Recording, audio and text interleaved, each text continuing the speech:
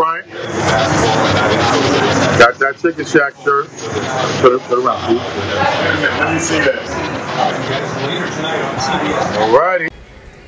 What's good, y'all? Good morning. This rainy morning in Sosua. I want to welcome y'all to the world famous Chicken Shack.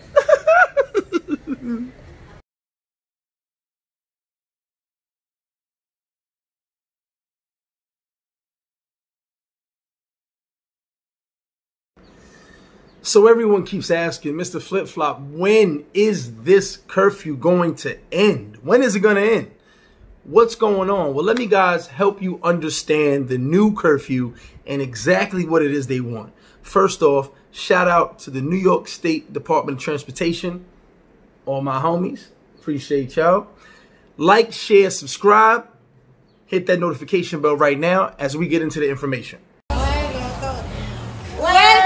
Welcome to Flip Flop. To this day. To this day. To this day. So, guys, I'm going to give you a breakdown of the current curfew and what's going to happen and what is expected. As I told you guys, the Dominican Republic has pretty much copied everything America has done when it comes to COVID and the situation going on with vaccinations and so on. So, the last month and a half, I believe it's been, these crazy times in Santo Domingo and so on have been about getting people vaccinated. They're doing 100,000 to 150,000 a week I mean, a day, excuse me, of vaccinations. So they're trying to get 100,000 to 150,000 people vaccinated every single day.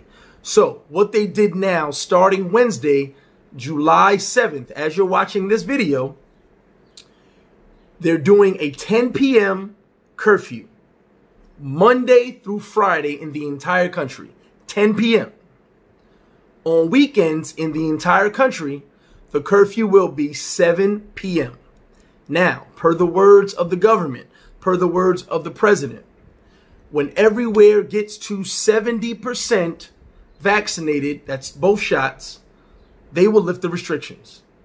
Each province, as it goes to 70%, will no longer have restrictions. So let me give you guys a rundown. Punta Cana and La Altagracia are number one, leading the way with almost 90%. So, by this rule right here, they have 99% vaccinated with one, 60% vaccinated with both shots, completely vaccinated. Espaillat Moca is at 65% with one shot, 48% with both shots. Now, running right behind number three, which is pretty good, is Puerto Plata, which includes Sosua, Puerto Plata, Cabarete, is at 63% with one shot, 46% with two shots. So basically, they're trying to tell everyone get vaccinated and all restrictions will be lifted. Each province, as they get to 70% vaccinations, no more restrictions, no more curfew, no more nothing. Everything's open, everything goes. So right now, they're letting people work Monday through Friday, having all the businesses open until 10 p.m., all businesses around the country. And on weekends, 7 p.m., which means no partying, no extra teteo, no outside, none of that. Also, when it comes to the alcohol restrictions, they have currently pushed the alcohol restrictions to 6 p.m. every single day. And you can take it to go after 6 p.m. So that's the current rules and regulations going on in Dominican Republic. As I said, once each province gets to 70%, that particular province will have zero restrictions, everything wide open, back to normal. So stay tuned. I'm expecting Puerto Plata if the stay the way it goes, I expect Puerto Plata to be at 70%, hopefully within the next month. So you guys stay tuned. And the reason you say why they're doing this, summertime is slow season. So right now they're trying to push everything. So once high season comes back and you guys are traveling on a normal basis, everybody's vaccinated, all restrictions are off. So stay tuned, like, share, subscribe, support the channel. Check out my last video, why you should never visit the Dominican Republic.